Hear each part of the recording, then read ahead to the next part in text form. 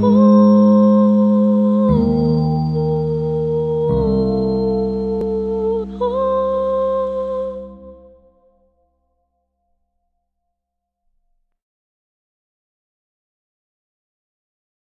move on to the next paper by Disha Panchalaji.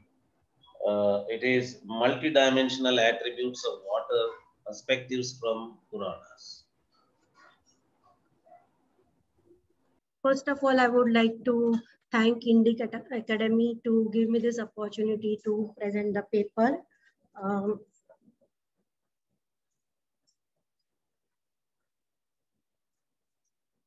my topic for this uh, uh, paper is multidimensional attributes of water perspectives from Puranas. In this creation, everything is classified to be made up of uh, a combination of five elements, Pancha Mahabhuta, in different ratios and proportions. Among this, water is given primary importance. India being a spiritual country, uh, uh, people consider water as holy, believe it has the power of uh, liberating souls. The Vedas consider uh, natural resources of God as gods and worship uh, them for their grace. Uh, this thought is carried further in the Puranas Uh, water has uh, uh, got many facets like purity, divinity, healing power, uh, uh, quenching thirst from smallest creature to the huge creature on the earth. In some Puranas, water is depicted as a mother. Somewhere in some Puranas, water consider water is considered as goddess. some consider at healer and remover of sin. So in this research, an attempt is uh, made to throw light on the multidimensional properties of water as depicted in Puranas. Water as deities. Apaha, the god of waters. Parjanya, Parjanyam Shatavrushnyam. Rainwater is 100 times powerful than the other waters according to Atharva Veda. And Parjanya is a supreme god of rain. Um, as the uh, India being agricultural country, rain is the most important source of water supply. Indra is considered, he is a personification of thunder who destroys the darkness. Uh, Saraswati is described as Maha great ocean, and she is closely related to Apaha according to Rigveda. Uh, she is defined as both a river and divine speech. Varuna is associated with oceans and waters, aquatic animals, uh, Varuna sends celestial water on the earth in the form of rain. The second attribute is the creation, dissolution, and the water. Um, according to Nasadiya Sukta, it is said that uh, Tamasit tamasa guhura magre praketam salilam sarvama idam. Unillumined cosmic water was lying everywhere. Uh, according to Vayu Purana, there is ongoing process of creation and dissolution when there is creation, uh, uh, when the creation takes place, there is the dissolution happened before. At the end, everything is merged in water. Brahma puts an end of his creation and everything is absorbed in himself. There is water everywhere. That is Ekarnava.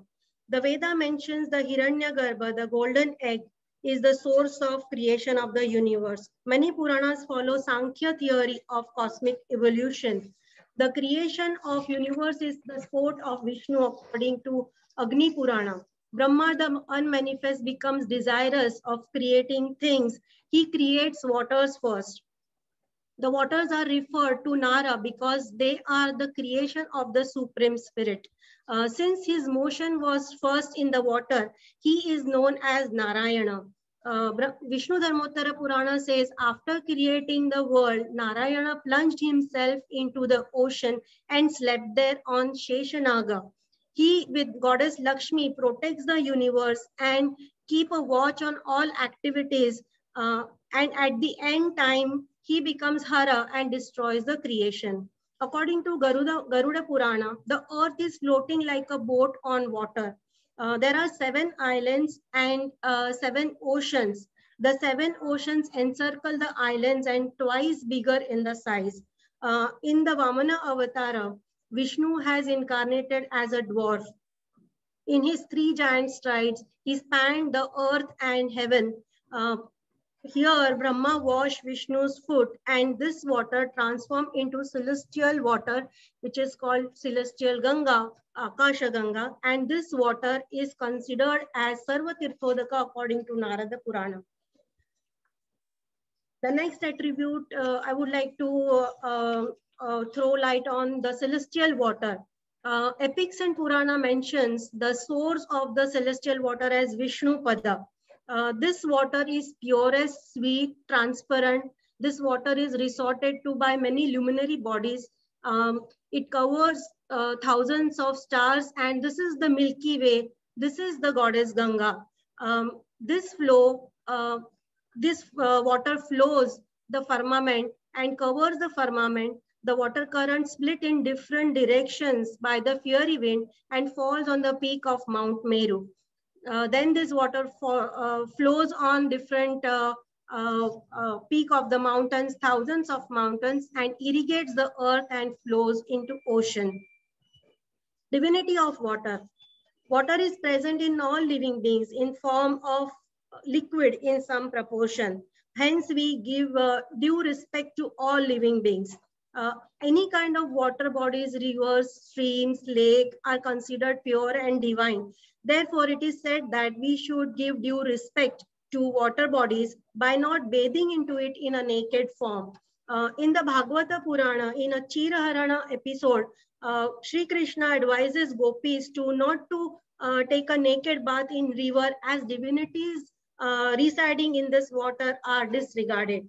Uh, with the similar note, Vayu Purana mentions that one should not evacuate bowel in any water bodies one should not pass urine in waters. One should not spit into waters. Uh, one should not perform head bath. When we talk about water and divinity, rivers plays important role.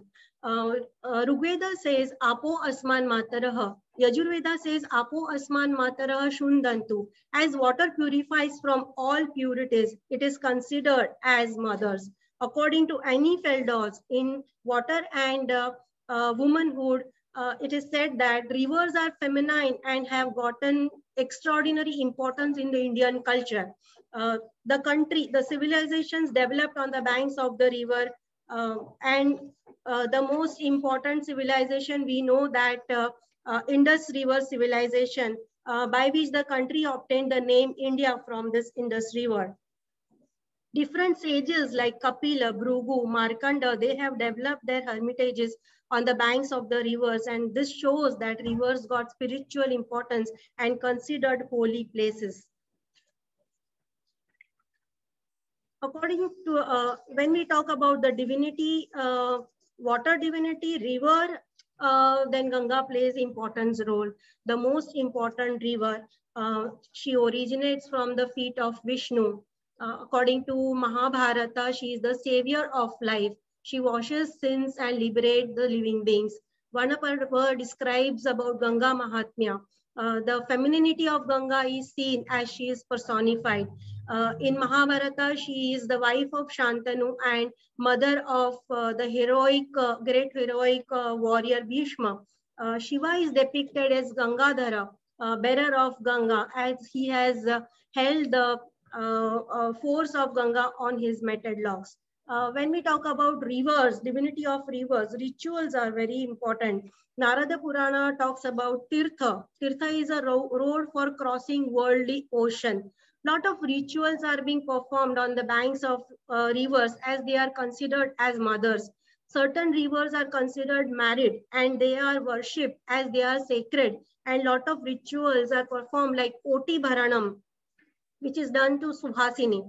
Um, sari is spread on both the sides of uh, river Narmada in her worship. Uh, Kumbh Mela and Narada Parikrama are, uh, Narmada Parikrama is the uh, biggest uh, festivals that are, that are uh, uh, known in our country. rituals like Shraddha, Pindadana, Tarpana are performed for the ancestors on the banks of the rivers. Ganga, Narmada, Godavari, confluence or sangam of different uh, rivers are famous for this. Uh, Ganga is considered important for such rituals as she is Gamayati Bhagavad Padamiti Ganga. She takes him to the god, the one who bathed in. Gamyate Prapyate Mokshati Ganga. The desirous person wishes to go to her, attains the salvation. She is goddess to remove all sins. According to Gangavatarana, the motive of the descent of the river Ganga was to purify 60,000 sagarids then she continues this activity. Ganga helps the soul to reach the heaven. Uh, she connects the mortal and immortal world. Uh, this way, many other rivers are also important like Godavari, Kaveri, uh, Yamuna, uh, Narmada. The divinity attached to water, river, uh, Ganga, and the deceased persons Ganga flows in three worlds. So she is called Tripathaga, three Sotas, three Lokaga. Uh, says this river comes from the moon. Kaushitaki Upanishad says the sphere of the moon is the world of the manes where they repose. Kaushitaki Upanishad further says those who all quit this world go to the moon. Moon's waning, and, and are uh, related to the arrivals of the dead and the departures of the soul uh, to the earth for their new incarnation. Uh, several Puranas say dead travels to the moon through Pitrayana or Devayana. Uh, deads partake the water of the moon and they repose there. The forefathers enter into this uh, moon water and the water fall on the earth as rain and they get entry into mankind in the form of food. The next attribute is uh, water as a healer. When we visit Shiva temple, what do we see? Water dripping on the uh, uh, Shiva Linga, which symbolizes the cooling effect of water. Uh, the dripping water reduces the heat in his body and soothe his pain as he has drunk the halahala poison that came out at the time of Amrita Manthana. Water healing therapies are prevailing and getting very famous nowadays, which cools down the mind and concentration is improved, works on mental stress. Uh, consuming warm water is considered as good for health and which detoxify the body. Uh, it is always soothing and pleasing and refreshing when we sit uh, near a stream or a river. Uh, water bodies have that healing power. Uh, water as a purifier. Yajurveda says water, puri uh, water purify the man from different kinds of impurities. Idam apaha pravahata vadyam chamalam chatat. Water has that self-life and remains pure for long unless it is externally polluted. Flowing water is always pure. Uh, we also know that uh, throwing copper metal coins in rivers, lakes, well, uh, which helps to destroy the bacteria and virus there are many modern methods uh, uh, which are uh, prevailing that we know that water purifier or we use small soft cloth to pu purify the water. different water purifier agents like uh, pine tree cilantro leaves are used. There are different chemicals that are used for purifying water like iodine, bleach, salt, etc. Uh, boiling water is always preferable for good health. Uh, purificatory baths are performed for different uh, occasions and rituals. Uh, we also know that sprinkling of water uh, is done to purify the places. Through different stories, we come to know that uh, sprinkling of water was to give uh, uh, at the time of giving boon or uh, at the time of giving a curse was used. a drop of Ganga water put in the dead person's mouth or dying person's mouth, it is believed that it purifies the soul and uplifts the soul to the heaven.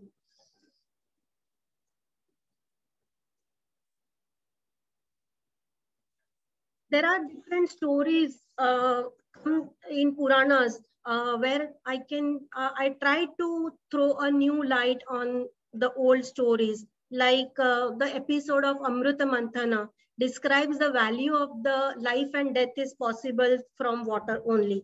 Amrita and the poison both came out. If we use the water in the right way, it will behave like Amrita. And if we abuse the water, the very same water become the hala hala poisoner.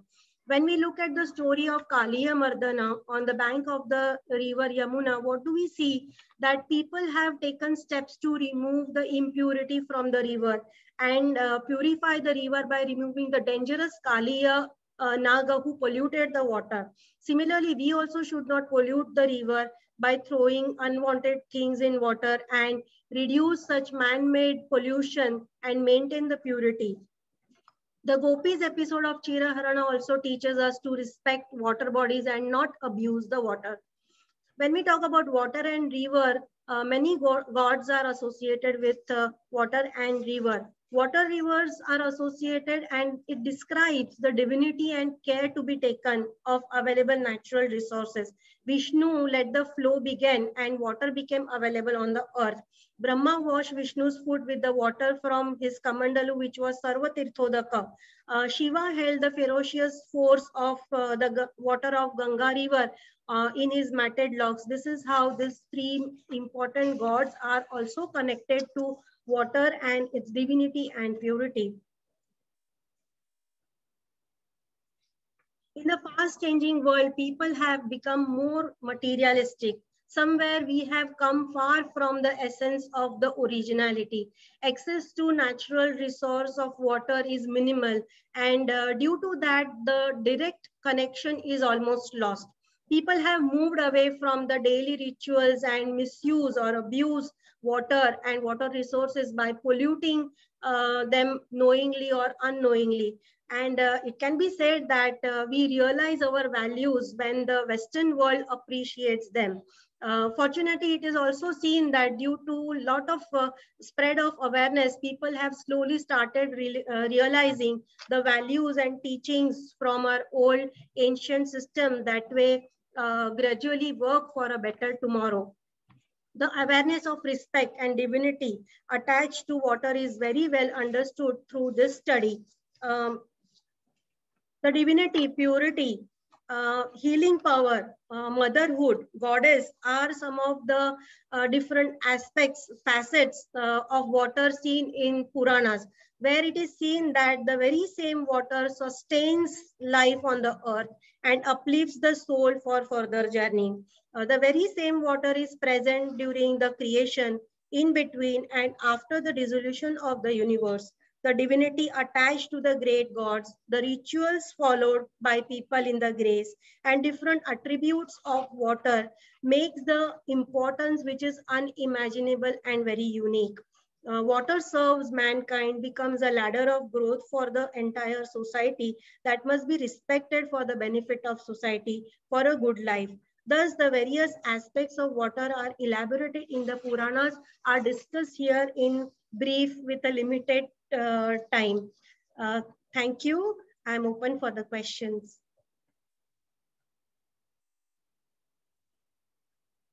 Your talk was uh, talk is very nice, Disha Patel, madam. Just I Thank want you. to uh, uh, just uh, I want to share with you few more ideas. That is, there is a book in uh, called Padatta Guna Chintamani. This book gives the uh, quality or usefulness of different water, sea water, lake water, river water, spring water, well water, like that, rain water, like that it gives. Then then Brihat Samhita gives in four slokas 101 methods to understand how the water table will be in here. So the source. And third one is there is one agama called Kamika Agama, a town planning agama. In this, they give where, how the different communities should be distributed. So if uh, the town is, you know, most of the towns are located on the river bank. So on the the downside of the river or downward side of the river, those industries that pollute water should be located. That is how they have given. So washermen and uh, the um, butchery, etc., should be located in the downstream area, not in the upstream area. Then Okay, sir. that then it is also known that previously before the we have got this vaccination previously from Ganga region up to 1920 people from during the summer season they will come out with uh, taking the carcass of uh, the dead ba- uh, dead people who were affected by uh, smallpox and Ganga water. They go to different uh, uh, villages and then gives his vaccine. So that prevented them from getting uh, smallpox. So I'm just I'm sharing because uh, till our pro, professor uh, Nagaraj sir has uh, yes. arrived. Thank you very much, sir. Thank you. Thank you, sir. Sorry, Okay. sir, Nagaraj sir. Sorry. Uh, namaste. Namaste, sir. Uh, uh, thank you very much. Uh, now uh, we'll move on to the next paper. Actually, it is not next paper. This session on geomorphology, climatology, and all that is uh, uh, over.